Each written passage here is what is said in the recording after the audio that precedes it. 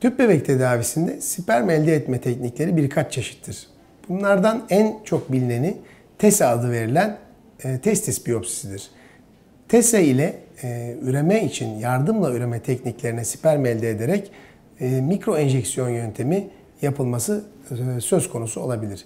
Fakat zorlu vakalarda spermin çok az sayıda ve testisin bazı seçilmiş bölgelerinde üretildiği durumlarda standart yöntemlerle, standart biyopsilerle testisten sperm elde etmek zor olabilmektedir. Bu nedenle mikro, mikroskop altında e, mikrotes adını verdiğimiz bir yöntemle e, testis açılarak e, ayrıntılı bir şekilde testis içerisinde sperm üreten fokal küçük alanlar tespit edilir ve bu alanlardan alınan sperm örnekleri ile hastada tüp bebek tedavisi mümkün hale getirilir.